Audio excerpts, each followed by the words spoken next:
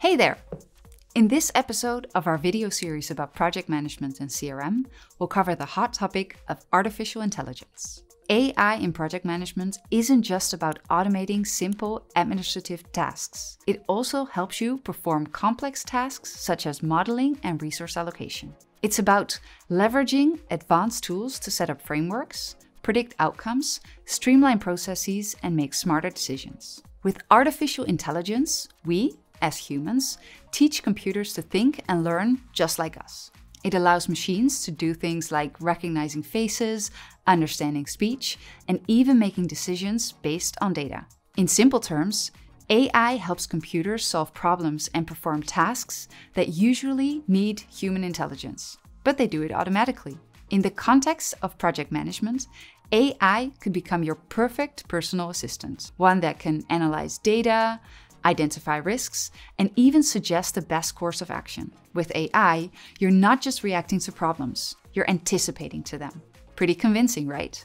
AI brings several powerful features to the table. Predictive analytics help you foresee potential delays and budget overruns by analyzing historical data and current project trends. Automated workflows eliminate repetitive tasks, allowing you to focus on strategic decisions. Natural language processing can even summarize meeting notes and emails, ensuring nothing slips through the cracks. Monday.com's AI, for example, categorizes data, automates repetitive tasks, and provides real time insights, all aimed at boosting your productivity.